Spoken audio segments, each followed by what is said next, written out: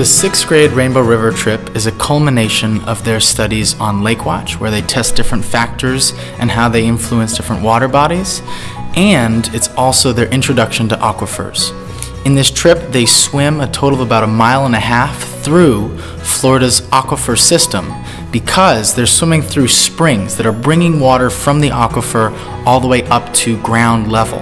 And they get to see the different flora and fauna, the living creatures inside this river, and see how the interactions affect their lives. They also get to put forth their knowledge about how human factors can influence these areas and what needs to be done to keep these areas preserved and safe for generations to come.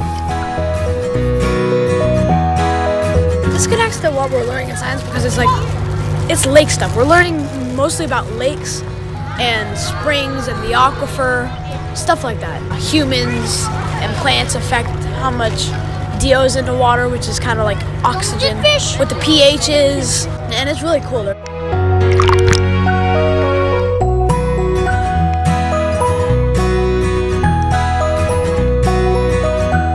The trip is so important because not only do we get to study aquifers and lake watch uh, from Lake Lipsey on campus and from different experiments and different things in class, but we get to see firsthand how the water actually works, how the water comes out of the ground. We get to feel the speed at which it comes out of the ground, see the fish, see the organisms that depend on it. It's an incredible trip that I think they appreciate even more because of their knowledge in these subjects.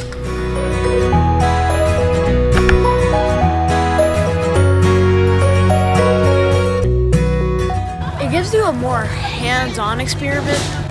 You just you just see what you're learning. It's a lot better than like watching a video or like hearing some words.